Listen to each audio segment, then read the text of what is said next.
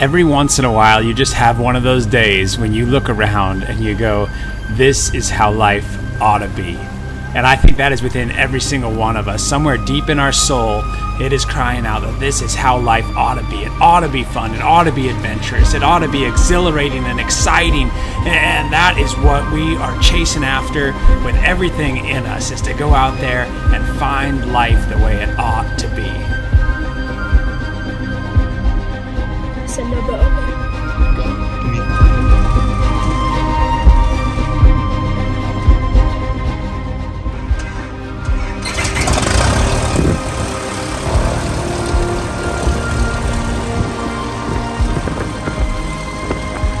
I remember growing up and watching different guys that seemed to be going out there and enjoying everything that God had to offer in the wilderness. And I just remember thinking when I was a kid, I would do anything to get out there.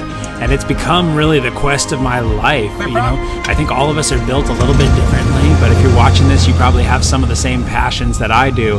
And as I've grown and matured, it just takes me farther and farther out into the wilderness. And it's given me a deeper appreciation for the complexity of God and the goodness of God and the creativity of God as you see these different landscapes. And today, what we're going to do is we're going to go on a trip that I have been planning for a long time and wanting to accomplish. And that is deep into the backcountry of Montana after some big cutthroat trout. And we're going to fly in, we're going to pack up deep into the wilderness, and then we are going to float back out, fishing our way out. And this was an incredible plan. And what's even better than an incredible plan is when an incredible plan comes together better than you could have ever asked or imagined or thought.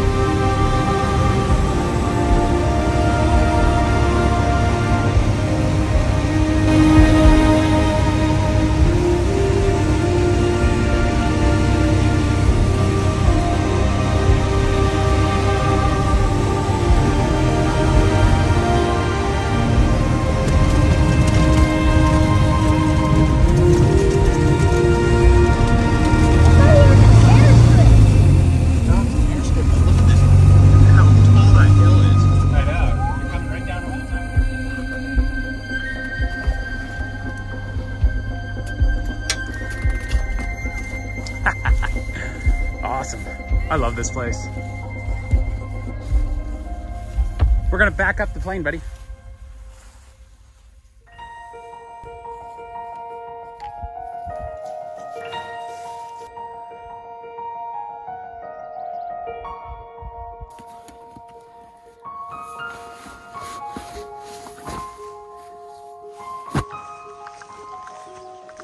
It takes commitment, intentionality, and a ton of work to access the best places on this earth. You don't just whimsically and magically end up at them. You have to be searching them out. You have to be studying the maps, researching, figuring out where these places are, and then figuring out how in the world do we get to them. And then you got to put in the work of actually getting there.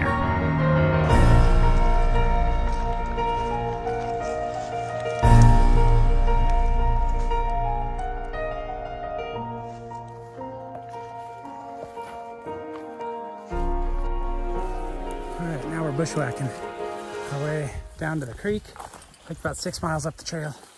We'll get down here, pump up our rafts.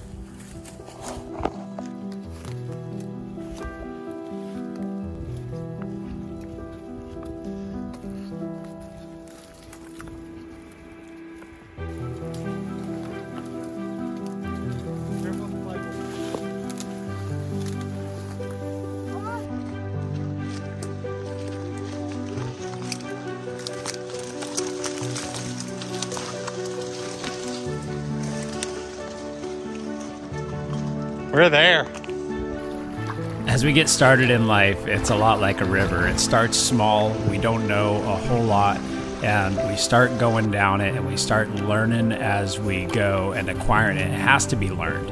You don't just drop into life knowing everything. You have to learn, and you have to learn oftentimes from people that have been there and done that. And that's one of the coolest things about bringing your children into the things that you're passionate about and exposing them to new things in the world is getting to teach them how to live life and how to live it well and how to be successful in doing it so that they can enjoy it and not be frustrated by it.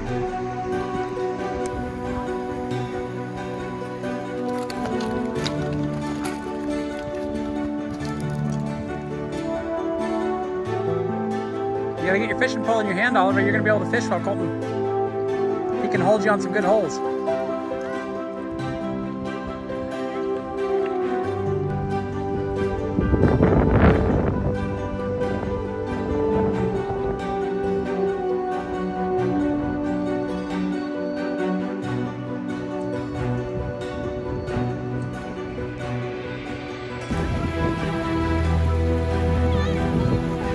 That's a good one. Lose him? No, bring him in.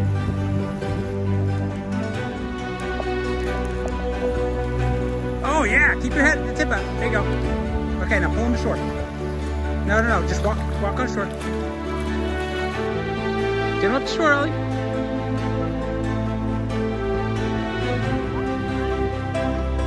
Hold him up so I can see him.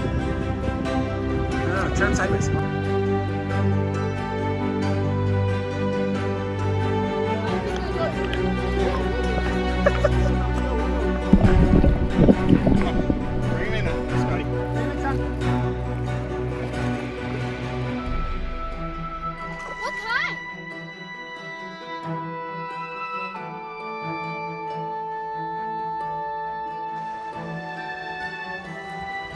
Walk out in the water, little Scott.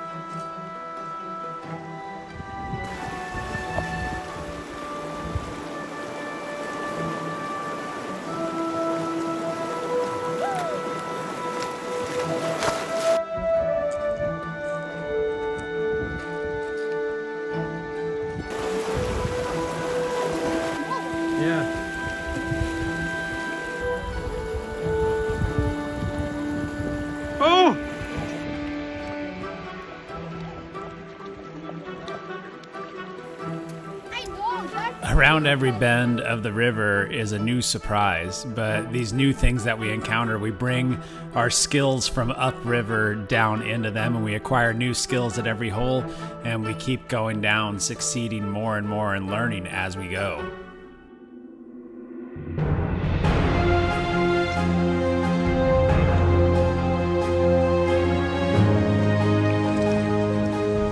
Okay, bring him toward shore. Bring him toward shore. Go, go, go.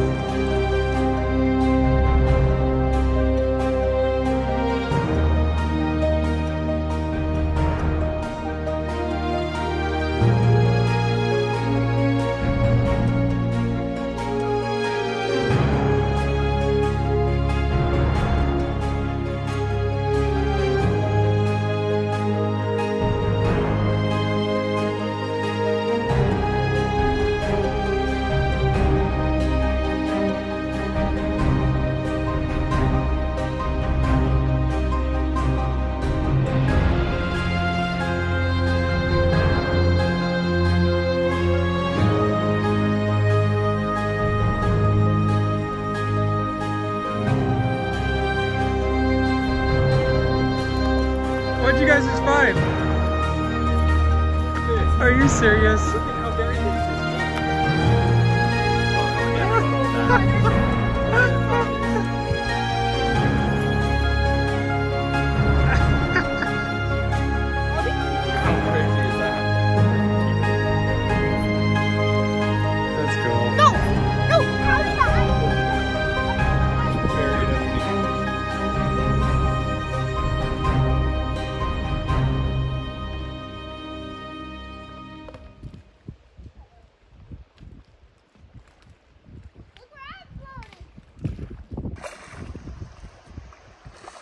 What you guys doing?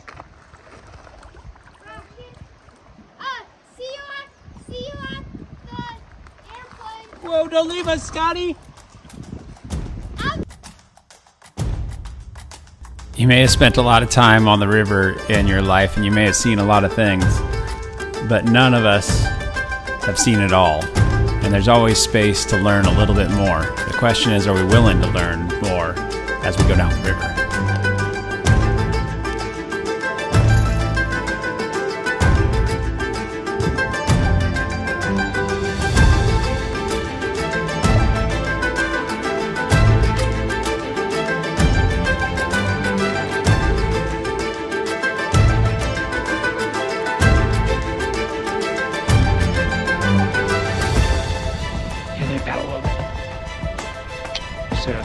This stuff.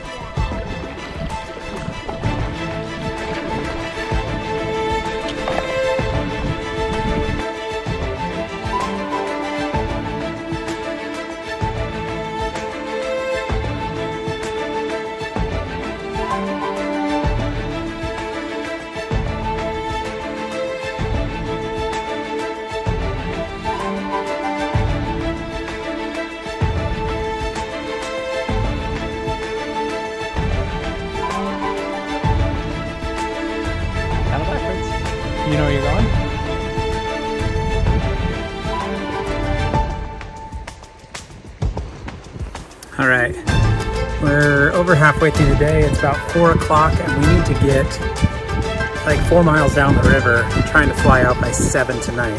So we got a ways to go. We got a headwind, which actually is surprisingly difficult. Um, we want to catch a few more fish, but it's been an incredible day so far.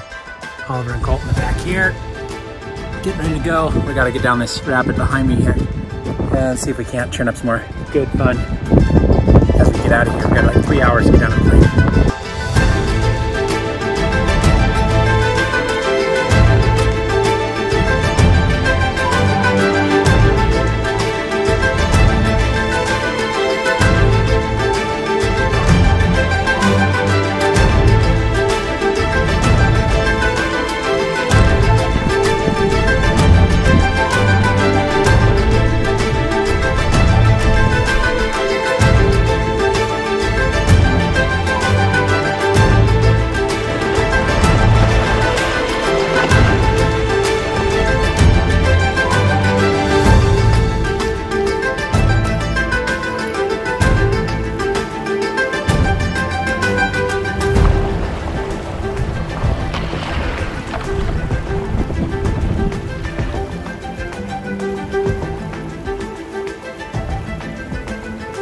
water levels are super low this year, so we're scraping rocks all the way along. But it's absolutely incredible out here. I have looked for spots like this my entire life, and this is just one of those special ones for sure. Now we're free! Dad, I'm free! Dad, go as fast as you can. Please go, please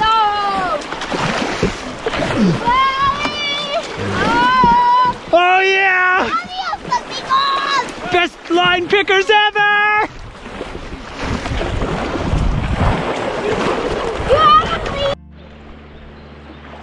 They seem to be feeding farther down. The reality is, is it takes a lot of miles of river to get good. It takes a lot of casts, it takes a lot of failure, it takes a lot of lost oh, fish. Oh, nice. And it just takes that time and consistent discipline and focus to really accomplish what you're trying to accomplish. Nothing good comes quick or easy on the river or in life.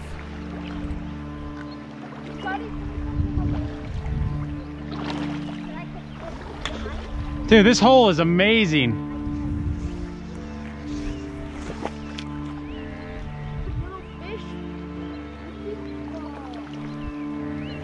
Oh, got one. Nah, Yep, little guy. Yep, that's one. That's not that little, Ollie. What?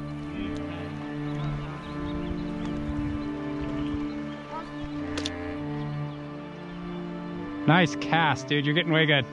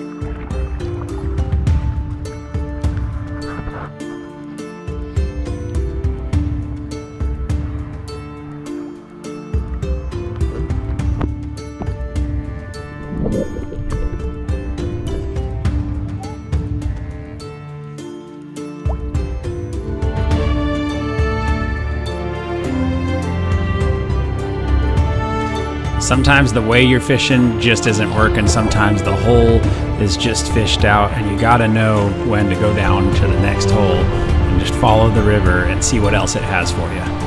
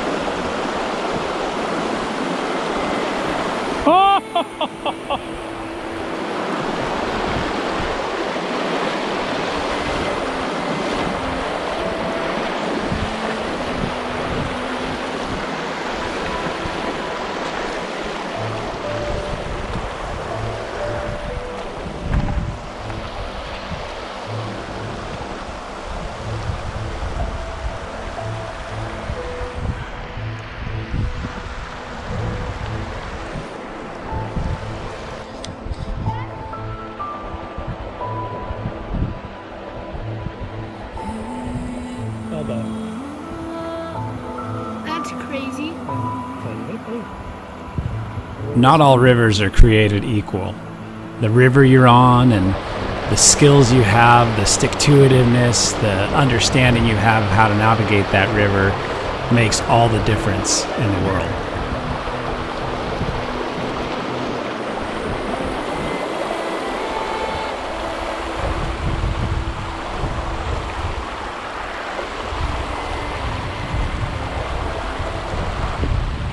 Oh, this is a sucker or whitefish.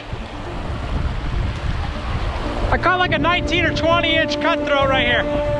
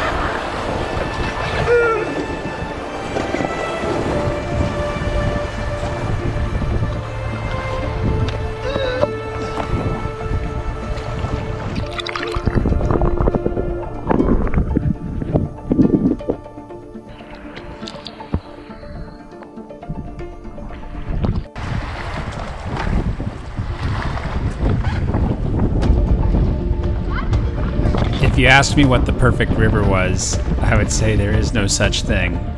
But this right here is how it ought to be. I can see better. There we go.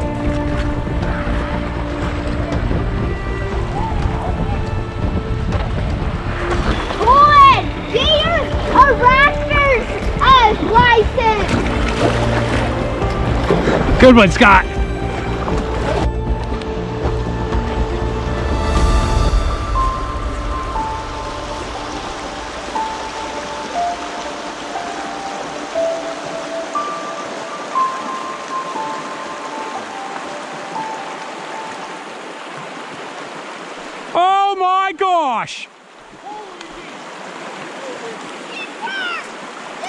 That thing come up out of the depths. It just got done eating a giant squid. Woo!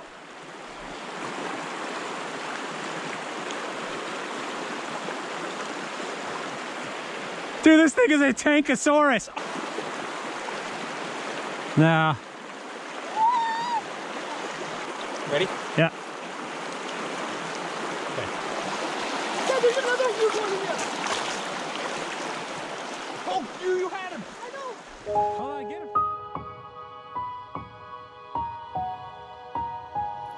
Uh, days like this just make you realize how good this world really is. Like we get so caught up in being in the city and being caught up in the hubbub of everything. And I know I say it all the time, but Jesus went out into the wilderness all the time. And it's when you get out here that man hasn't totally decimated everything and tamed it. Like you get to see the raw, untouched beauty of God's handiwork. And for me, I don't know if that resonates with you, but for me, it's just like I feel closer to God when I'm in the mountains because I'm not distracted by everything. And these days right here with my boys and my brother, you float in these rivers and just how life ought to be. I think there's something deep in our souls that understands that life ought to be a certain way. It ought to be good. It ought to be rich. It ought to be full. It ought to be just exhilarating and exciting. And somewhere along the line, it's not that way. And I remember for me, there were times in my life where I thought like, just chasing after everything I possibly could was gonna make me happy. And it wasn't until I surrendered my life to Jesus, put my faith in him and started following after him with everything I had, that I actually started to enjoy life the way I believe that life is supposed to be enjoyed. And I know inside you, right now, if you're listening, I know inside you, there is something saying that life ought to be better. Life ought to be different. Life ought to be and can be like this. And I'm telling you right now, Jesus came to give life and to give it abundantly. He's not a liar.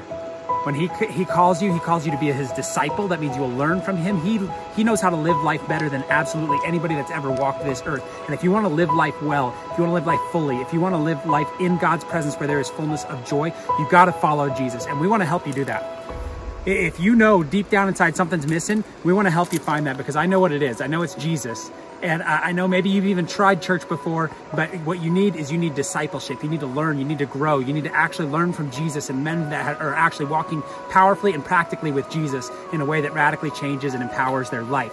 And so I want to invite you to go over to our website, www.limitlesshunting.com. Go over there. We have a resource that we wrote called The First Mile. You can go through it on your own. You can go through it with a friend. Uh, we even have groups. We have leaders that we've been training up, so you can go on Zoom. Uh, it's seven weeks, one hour a week and you can go on Zoom and sit with other guys that are farther ahead than you in their walk, and they will teach you everything that they can about walking with Jesus and getting connected and living the life that Jesus promises, the life that you were destined for, that you were built for, that God he, he created you for this fullness of life with him. So go over to our website, The First Mile. It's absolutely free. We pay for the shipping, everything. We have it digital. We have these groups. Go over there. There's no excuse for you not to go out there and grab a hold of the life that God offers you. You got to surrender your life to Jesus, but as soon as you do that and you start following him and learning from him, he's going to take you to places. It may not be easy, but he's going to take you to places that you can't even imagine in your wildest dreams.